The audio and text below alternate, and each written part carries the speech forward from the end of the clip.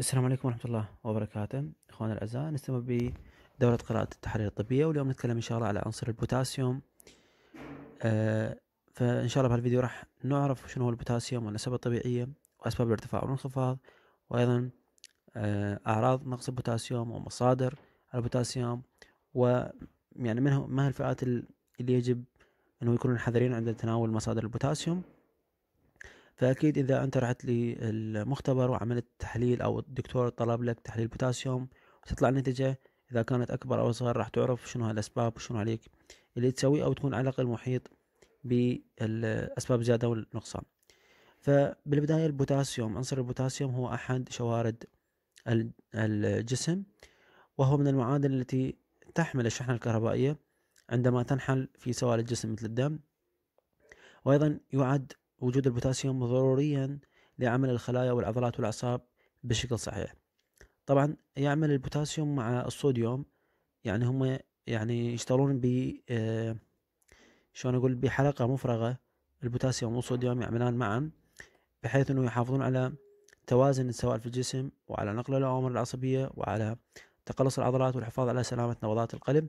لهذا عندما يرتفع الصوديوم ويقل البوتاسيوم راح تلاحظ ارتفاع ضغط الدم.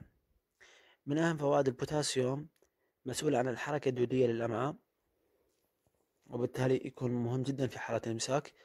أيضا مهدئ للأعصاب ضروري لعمل عضلة القلب أو يعني بالتحديد كهرباء القلب.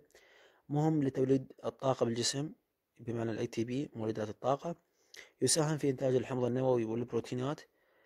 يرتبط مع المغنيسيوم بتهدئة الجسم والشعور بالراحة وإعطاء القدرة للعضلات من أجل الاسترخاء وعدم التشنج.